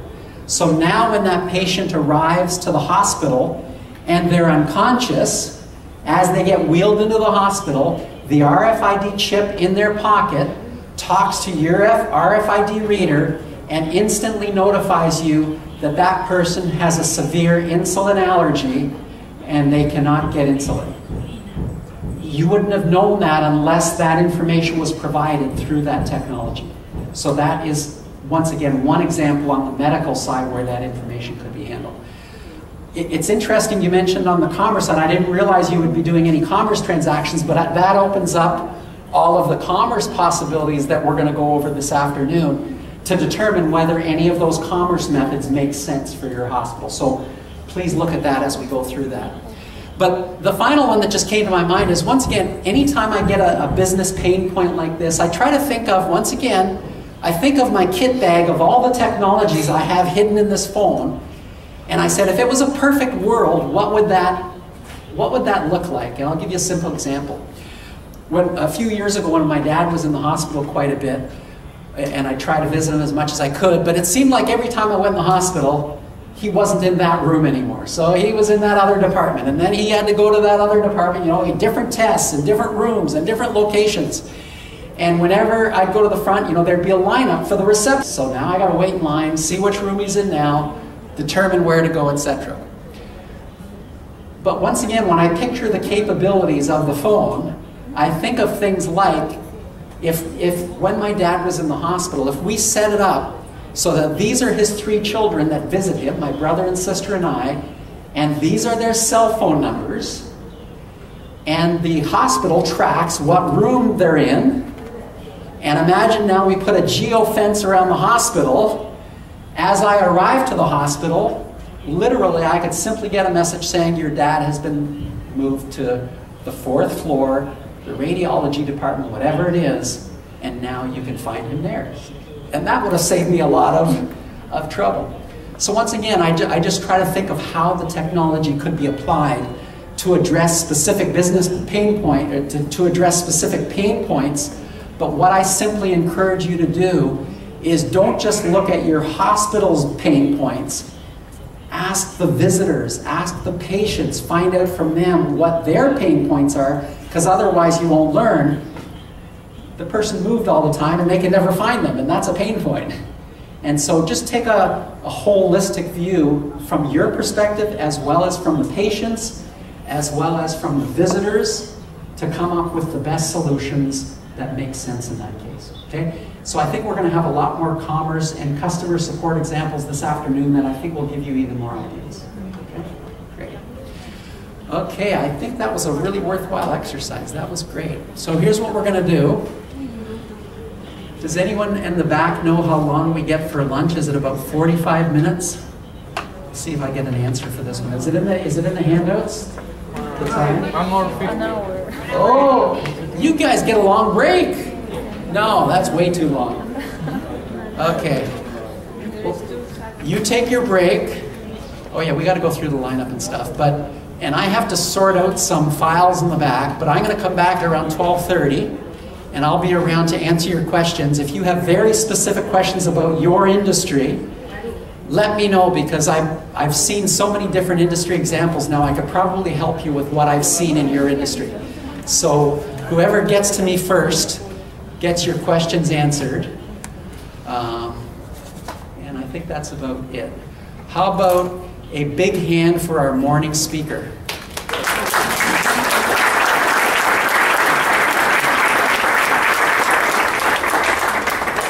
How about a big hand for our attentive Argentinian audience?